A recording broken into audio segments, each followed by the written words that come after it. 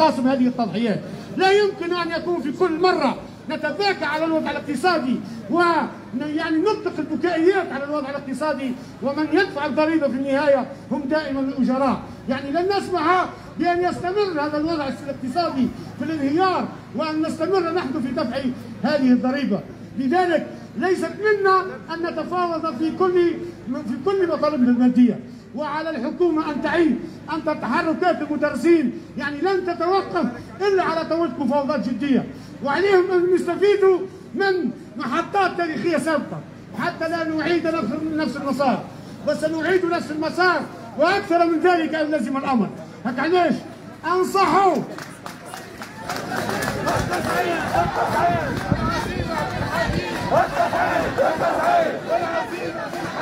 انت سعيد انت سعيد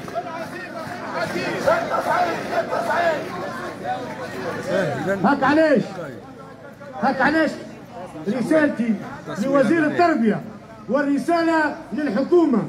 عليكم باختصار الطريق والذهاب إلى طاولة مفاوضات جدية والنظر بجدية لكل المطالب المطروحة في لوائحنا المهنية والتفكير بجدية في الارتقاء بواقع المدرسين المادي والمعنوي.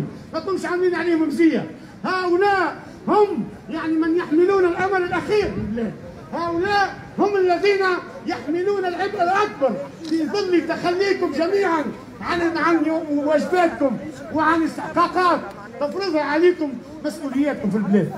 لذلك كما قلت إما مفاوضات جدية على طاولة مفاوضات جدية تنتهي إلى إيجاد حلول ترضي المدرسين وإلا سنعود إلى مسارات ليست يعني يعني مسارات قوية كما عاهدتموها ومسارات تذهب إلى أبعد مما ذهبت إليه سابقا.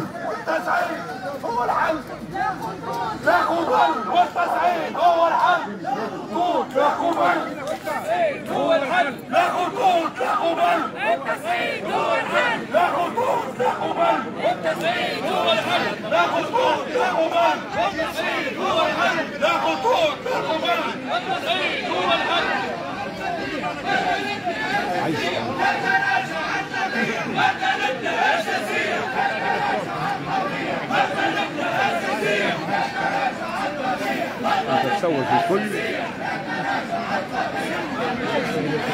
المختصر المختصر الثالث أيضا. والذي يجب أن يعيه وزير التربية ورئيس الحكومة ورئيس الجمهورية أيضا هو الحديث على المدرسة العمومية والبكائيات ثم التسول من أجلها لا يمكن أن يحل مش- مشكلات المدرسة العمومية.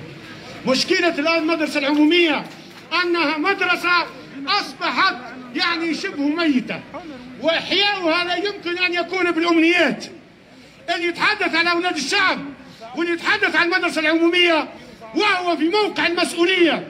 عليه أن يعلم أن إصلاح المنظومة التربوية لا يمكن إلا بتجميع كل موارد كل موارد يعني المجموعة الوطنية من أجل هذا.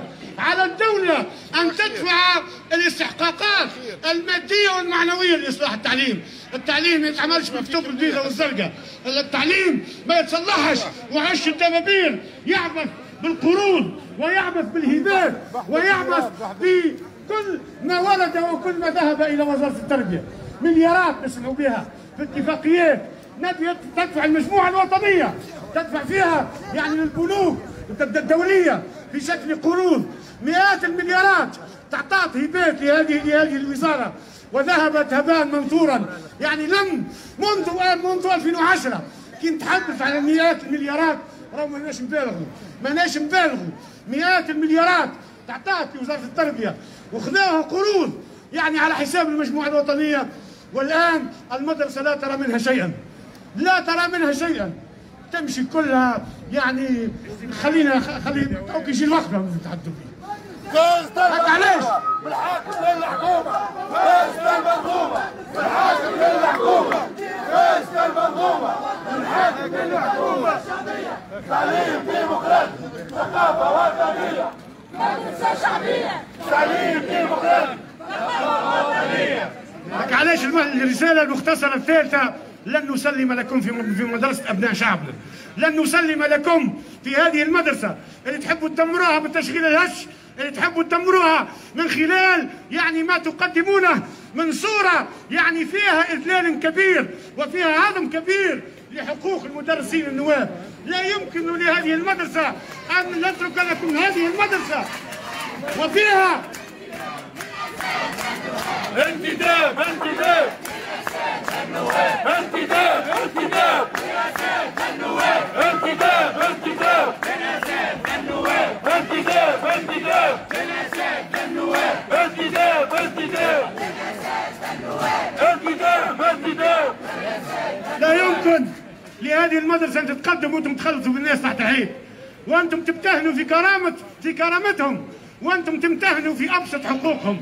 لا يمكن لهذه المدرسة أن تتقدم إلا برؤية واضحة نتاع امتداد ونتاع استقرار. يعني لي عنصر بشري ونتاع تكوين يليق بالمدرسين ويأهل المدرسين ويترك ويتخلى عن الآليات البالية اللي فيها كثير من التطبيق. برشا تطبيق وبرشا حديث.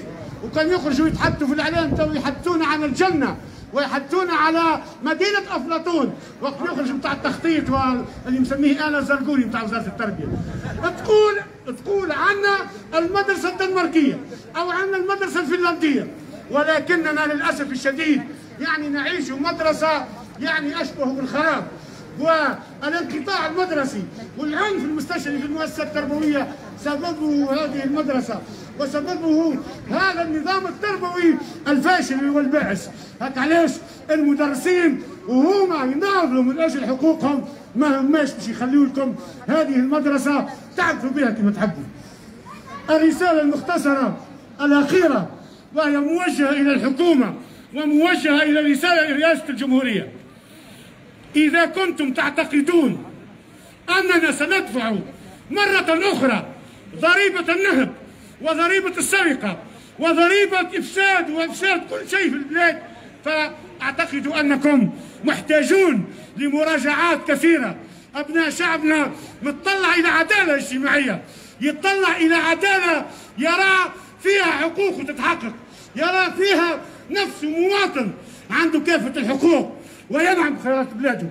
أما أن نناديه ونتباكى أمامه من أجل أن يقبل وأن نقبل أن نكون الأرضية أو الحل مرة أخرى لهذه المشكلات الاجتماعية. فحري برئاسة الحكومة ورئاسة الجمهورية أن تغير سياساتها الاجتماعية. تجاه العمال وتجاه الأجراء واحد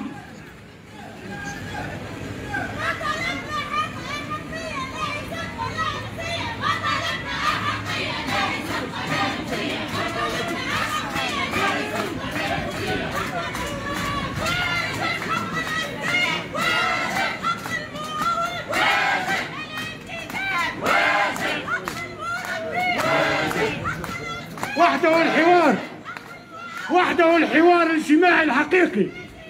وحده الحوار الاجتماعي الحقيقي. وحده الاعتراف والتعامل مع قوة جماهيرية اسمها الاتحاد العام التونسي للشغل هي الوحيدة الكفيلة بتحقيق الاستقرار الاجتماعي. غير ذلك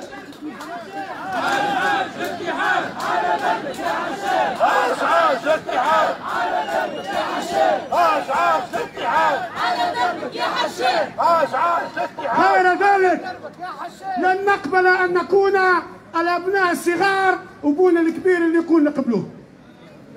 هذا غير وارد لدى قطاع التعليم الثانوي. قطاع التعليم الثانوي يعتبر أن الحوار الاجتماعي والمفاوضات الاجتماعية والزيادات في أجورنا لتعويض عن تدهور قدرة الشرائية حقا ومش مزية من حتى حد لاتحاد مستقل والقرار لاتحاد مستقل. لاتحاد مستقل. خليني يصير لعمك الرسالة زين. لاتحاد مستقل. وخلي لعمك الرسالة زين. لاتحاد مستقل. خلي يزيدوا لعمقوها لن نقبل أي مساومات أو توافقات على حساب الشغالين والعمال وعلى حساب المدرسين.